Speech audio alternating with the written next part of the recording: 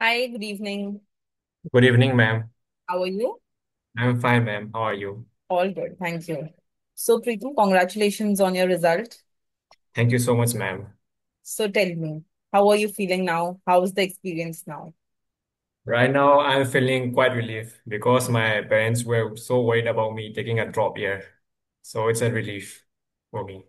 Good, very good. So, what are your future plans now? When you will you be you you live you come you have already come in Delhi or still time? No, I'm still in Manipur. I'm I'm coming next month. Next month. Okay. Okay. So, have you looked out for uh, the North Campus, some cafes, somewhere, you know, where you will be exploring, what you will be doing? Yeah, uh, I'm I know North Campus because I studied in Satyawati College. Uh, right now, I'm leaning towards IIT Delhi. Oh, you'll not be joining DSE. No, I've, I haven't decided yet, to be honest. It's quite confusing.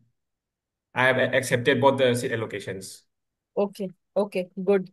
Why Delhi? IIT Delhi over it? It's mainly because of the batch size only. Ah, got it. Okay, both are good brand names actually, and both Yeah, have a good legacy. Uh, IIT Delhi just has one edge uh, that it is going to go ahead and give you some uh, programming knowledge also. Yes, ma'am. you R, Python, machine learning. You can join those, uh, you know, groups, AI groups, and you know you can uh, go in that field also. Yes, ma'am.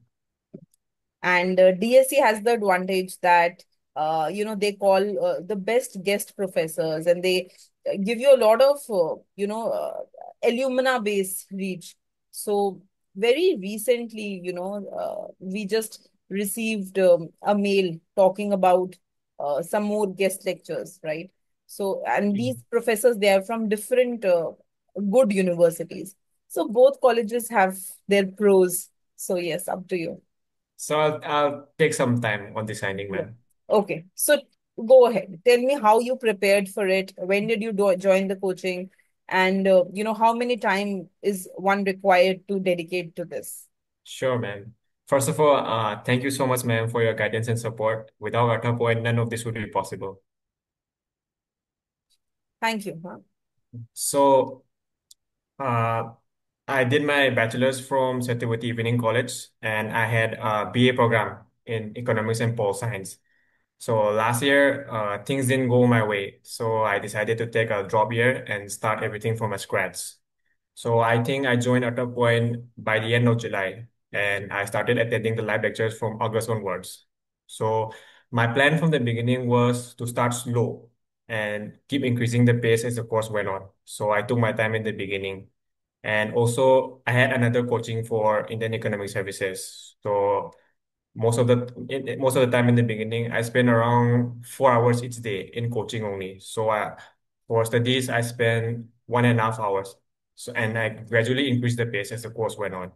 And my main priority in the beginning was to cover up the backlogs for micro and do the DPPs and keep revising the lecture notes Mm. as the classes went on. And for micro and macro, I followed the live lectures and I completed all the DPPs for micro. And for macro also, I almost completed all the DPPs. For stats, it was kind of hectic for me because it started along with the macro classes. So it was hard for me to keep following up the lectures. And I was even I wasn't able to do all the DPPs for stats. So what I did was I did only the uh, advanced lectures for stats. Okay. And for maths, I did only the intermediate lectures Okay. and I practiced the uh, examples from Hammond Hmm. and I recaptured my basics from R.D. Sharma. So uh, by the end of November, I roughly completed the syllabus, barring econometrics. So I started attempting the mocks uh, in the last week of November for JAM. And in the last two months before JAM, my main priority was doing the mocks and doing the PYQs, Hmm. where the solutions were given in the portal. So that's what that was it for Jam. And kept revising it as the exam kept closer, keep keep getting closer. And for CUET, uh, I did the Indian economy lectures from the portal, and the priority was the same. Just keep doing the mocks and do the PYQs and keep revising. And the most helpful thing during the preparation for CUET were the revision classes. They were so helpful for me it was very short and precise, and especially for international economics and maths, the lectures were so helpful for me, man. So that's how I went about my preparation. So, you know, I like many students, they tell me that revision sessions are, uh, you know, very useful. Yes, Uh, ma'am. this time, as you know, I had mentioned in the group also that, in Uh, fact, compared to other times, I have taken a bit less of the revision sessions because of some, uh, you know, personal issues. But uh, you know, then also if all of you found it useful, I'm very, very glad that you know it helped. Otherwise, uh, you know, usually our revision sessions they go for three to four hours every day. I think this time we had maximum one and a half, two hours revision session.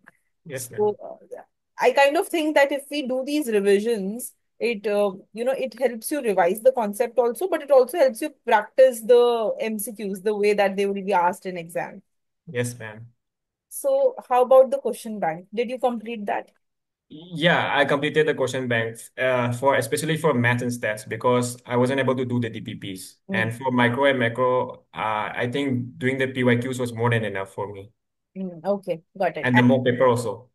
and what about the mock papers? How many uh, did you attempt and what score you were getting? So for the mock papers, uh, they were the game changers for me in the preparation. Okay. So what I did was uh, I did my revision along with the mocks. So Mm, I took my time with it. For JAM, uh, I attempted eight out of the 10 mock papers. And for. CUET, I did all of them. Okay. So what I did was in the beginning, I didn't score much. I was able to score mostly around 30s, 30s. Then my score kept increasing. I think my, the highest I scored was around 44 or something for uh, for JAM. For That's CUET, my marks my, my marks kept increasing and increasing. Okay. At some point, it goes 200 and it stayed there for some time. And so the strategy which I used for mock was that I kept the separate register for mocks. Mm, And before jumping on to the next paper, what I did was I uh, revised the questions which were difficult for me, and I kept learning from the mistakes which mm. I made during the paper. So I took my time with it, and and I used these notes before the exam to keep revising my mistakes. That's the best way. Yes, That's the only reason why I have gone ahead and given a recorded solution of the yes, questions, questions. They were so helpful. Yes, because you should not only like solve, but you should go through the recording of what I am saying in the solution. Because I tell 10 different things in the solution. That just keeps, Yes, you know, it helps you to revise. So it that's the best way actually. Many students, you know, many, many students, they came to me and they told me that, ma'am, just give us a PDF of the mock paper. We don't want to look into the mm, solution.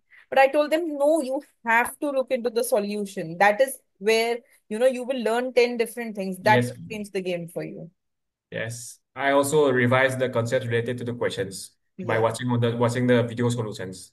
that is the best way actually Yes, that i mean that's the reason that it has been made in that way that you listen to them and you revise them accordingly so uh Preetam, one last question i have for you sure, ma'am. you know many students they you know start at a good pace but they take a dip uh, you know during the say you know we have these uh, Dussehra break and Diwali Yes, break sir. and so on so how to ensure that you keep the pace throughout the year See, uh, this was the problem that I had last year in my preparation. I started really hard. So in the beginning, I was studying a lot, and when as the exam get, clo- get getting closer, I wasn't able to study much before the exam. So this time around, I was aware of it. So what I did was I started slow. Uh, in our till September, I think I studied for only two hours a day. Hmm. Then as the mock paper started, I, st I started studying for around four to five hours a day, just slowly, slowly, and. And for when it comes to burnout, I don't know what to say about this because uh, in the week of, in the week after, just the week after the exam, there was gate paper, and I wasn't able to study anything. I don't know what happened, how it happened, but I wasn't able to study anything for gate. So I didn't do well in gate. But I recollected myself after gate. So. I told myself I have to be serious for CUET. Then I started again. I think the best bet will be to start slow. that's right slow but consistent do it Yes, yes. Consistency is the key.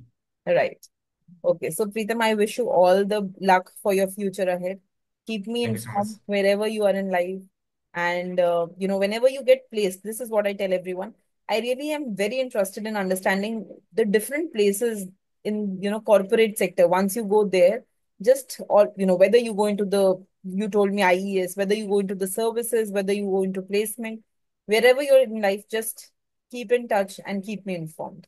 Sure, ma'am. All the glory and honor belongs to ArthaPoint, ma'am. Okay. Good. Thank you, huh? Thank you so much for Thank, your time. thank you, ma'am. Good night, ma'am.